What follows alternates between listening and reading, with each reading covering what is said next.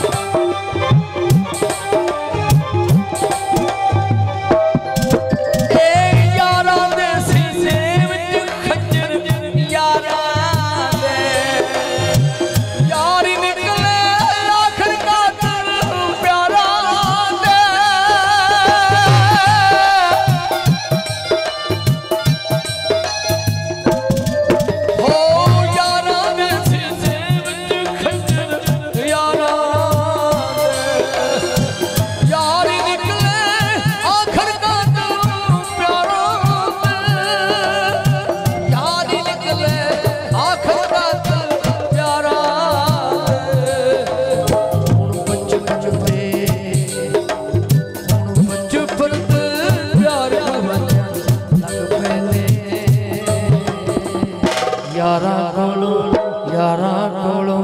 ਯਾਰਾਂ ਕੋਲੋਂ ਯਾਰ